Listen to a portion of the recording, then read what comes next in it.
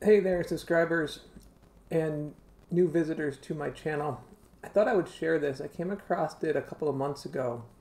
Uh, but as we wrap up 2023 and look ahead to 2024, as we know, artificial intelligence has started to change the way we interact and the way we do things throughout all aspects of our life and our workplace, um, as well as our educational space these days. So, what this website is that I have up currently is known as the Chatbot Arena. It's uh, the website chat.lmsys.org. It's a collaboration uh, between the Carnegie Mellon College, um, University of California, San Diego. And what is going on here is you have the opportunity to do searches um, or ask questions of different large language models and see how they provide different responses. And then you're able to give them a ranking. So there's an actual leaderboard out there, and uh, you can see how that um, actually ranks out between them. So it's kind of cool, um, especially if you want to see results and you want to see if one tool gives you results uh, differently than another one. Um, also, UC Berkeley was part of this. I, I, left that out in my opening there. Um, so you guys should check this out. Play around with it. Um, you see, basically, you're pitting one model against another model, and you don't know what they are. Uh, so it's going to be random. The models would be. So if I said, you know, give me a SQL statement, for example, and hit send let's see what both models provide us with.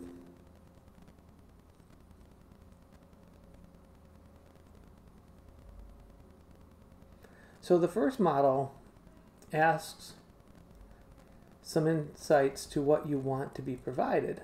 The second model automatically provided you a statement and said, "Hey, provide me some specifics, and I'll be more and I'll give more detailed to what you might be looking for.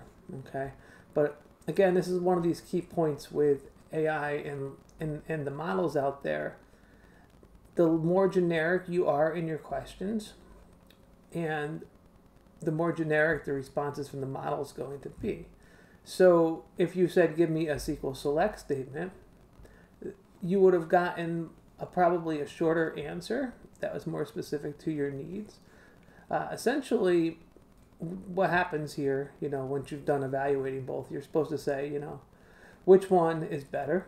Um, so if I say, well, you know, the first one tells me that um, I should tell it what I'm trying to achieve first, where the second one waited until it gave me a whole bunch of information about a select statement uh, and then told me, hey, give me more specific. The first one was vaguer and like it gave me a variety of different SQL statements so I guess it depends on what you're looking for.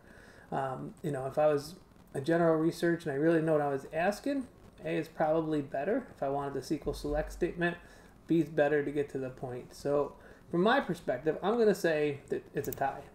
Okay. And then when you rank it, it's going to tell you that Model A was GPT-4 Turbo, and then Model B was Claude. So pretty interesting. Okay. So there are a bunch of models to choose from, if you go to Arena side by side, you can actually pick the models you want to ask questions to. Uh, and you can see the large listing of the models available here in this arena. Many of which you've probably never heard of, uh, myself included. I've not heard of all of these to date.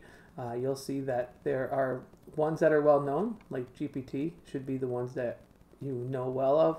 Um, you may have heard of Claude you might have heard of Llama. Llama is the Facebook or the Meta one that they promote. Um, looking down the list, uh, I was expecting to see Bard here from Google, but I'm not sure. I don't think I see it. Uh, I thought it was one that they partake with, but I don't see it listed any longer. So they might have removed Bard from that. Uh, if you go to the leaderboard, you can check out the leaderboard, and you can see uh, that GPT-4 is currently the one that's leading overall from that model perspective. uh, and then you can see where the other ones lie um, as far as what people have ranked. Uh, it's a pretty cool site. Uh, check it out. It'd be interesting to trend this and to track it um, throughout 2024 as these models continue to evolve, as well as us utilizing them more and more and working on them. Um, you know, every one of these have very much uh, different aspects and different parameter based um, in terms of the, the number of parameters and their the size of the model. So good thing to insert um, and learn about. Uh, you can learn more. Go to the Chatbot Arena link. Here it tells you more about the uh, LMS um, sys or LM project out there. More details about how it came about. Um, you can donate to it and all. Always good to support a good cause. So uh, hope you found this valuable. Hope you check it out and play with it. I'll put the link to it um, down in the uh, details about the video. Um, if you're not yet a subscriber, please uh, please subscribe. Thank you.